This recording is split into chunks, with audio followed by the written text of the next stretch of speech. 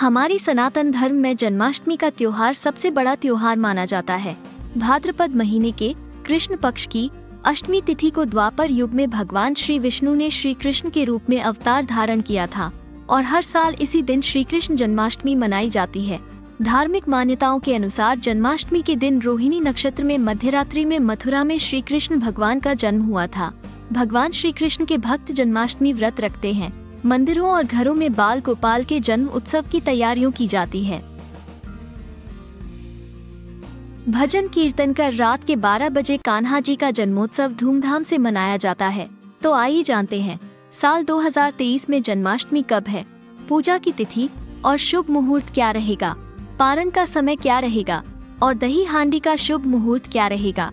सबसे पहले तो आप सभी को जन्माष्टमी की हार्दिक शुभकामनाएँ साल 2022 की तरह इस बार साल 2023 में भी श्री कृष्ण जन्माष्टमी दो दिन मनाई जाएगी, यानी कि 6 सितंबर और 7 सितंबर को हिंदू पंचांग के अनुसार स्मार्त संप्रदाय और वैष्णव संप्रदाय के लोग अलग अलग दिन जन्माष्टमी मनाएँगे। 6 सितंबर को सभी ग्रस्त जीवन वालों को जन्माष्टमी मनाना शुभ रहेगा, और जो भी वैष्णव संप्रदाय के लोग हैं या इस्कॉन से जुड़े हुए लोग हैं वो 7 सितंबर गुरुवार के दिन कान्हा जी का जन्म उत्सव मनाएँगे और 7 सितंबर को ही दही हंडी का शुभ मुहूर्त भी रहेगा और इसी दिन रोहिणी व्रत भी रखा जाएगा। अष्टमी तिथि प्रारंभ होगी 6 सितंबर बुधवार दोपहर तीन बज के उनतालीस मिनट से और समाप्त होगी 7 सितंबर गुरुवार शाम चार बज के चौदह मिनट तक।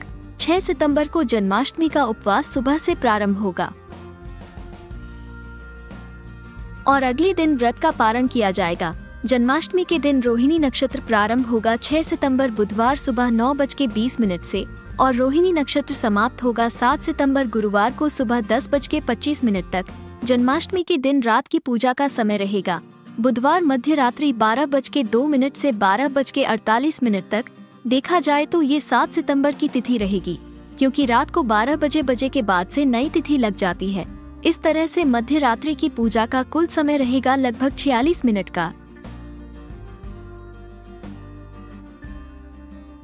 और जन्माष्टमी का उपवास खोला जाएगा 7 सितंबर गुरुवार को सुबह छह बज के नौ मिनट के बाद। हालाँकि बहुत सारे लोग कान्हा जी का जन्म होने के बाद मध्य रात्रि के बाद ही अपना उपवास भी खोल देते हैं तो आप जिस भी नियम का पालन करते हैं, उस नियम का पालन आप ज़रूर करें।